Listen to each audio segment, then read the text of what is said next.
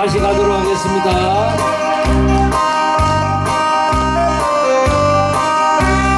한 번 더 앵콜 받았습니다. 좋네요.